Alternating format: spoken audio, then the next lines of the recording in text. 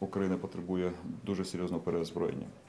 І одна із причин великих втрат е, те, що у нас не вистачає сучасної, особливо точної зброї. У нас, ви знаєте, е, основа нашого, скажімо так, потенціалу збройного, да, це є зброя Радянського Союзу.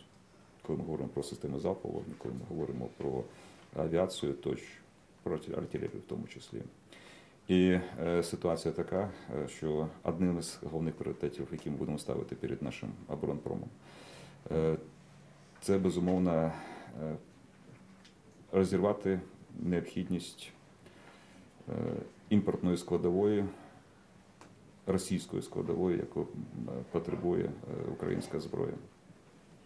Це реальна проблема, це реальна небезпека.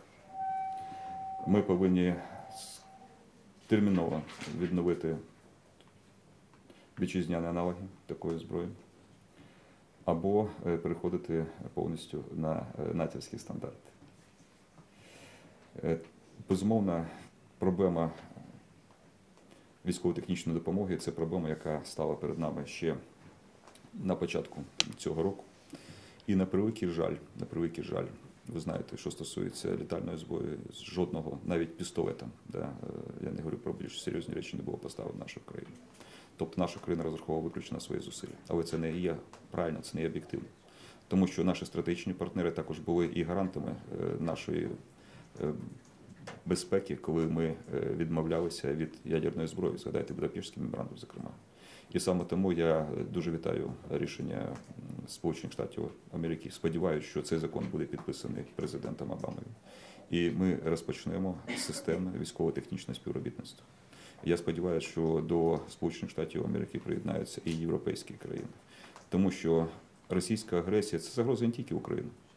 Фактично, Росія е, зламала всю систему колективної безпеки в Європі.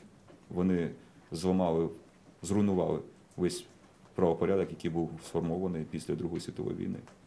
І сьогодні Україна стоїть в проломі фактично за цивілізований світ. І я переконаний, що обов'язок цивілізованих країн, цивілізованого світу, наших стратегічних партнерів не тільки морально нас підтримувати, не тільки забезпечити реалізацію економічних санкцій проти агресора, але ж і реально співпрацювати в військово-технічному плані. Дякую. Оскар, наступне запитання, п'ятий канал. П'ятий канал Наталя. Ви кілька разів у своєму виступі е, називали, що триває війна.